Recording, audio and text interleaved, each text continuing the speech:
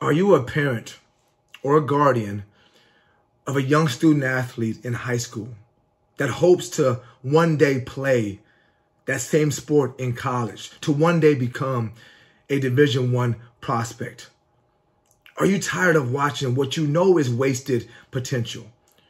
Watching lackluster effort and performance? Watching confidence wane as the days and months go by? Are you ready and willing to do whatever you can to help this athlete, your athlete, take their game to the next level? Well, as the saying goes, it's all in here. It's all in the head. The difference between athletes at the college level is oftentimes all about mindset, not genetics.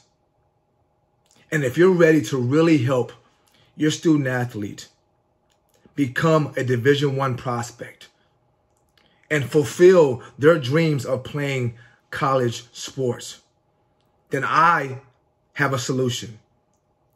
If you click the button below that says click here you'll be asked to register for a free training on the five transformational five five transformational mindsets that will help your athlete get the mind right to match the ability, to match the skills, to take them to the next level.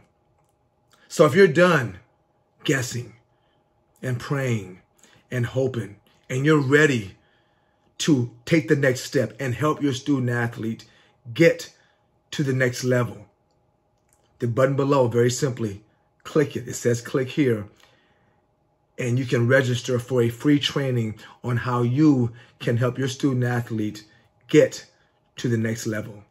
I'll see you soon.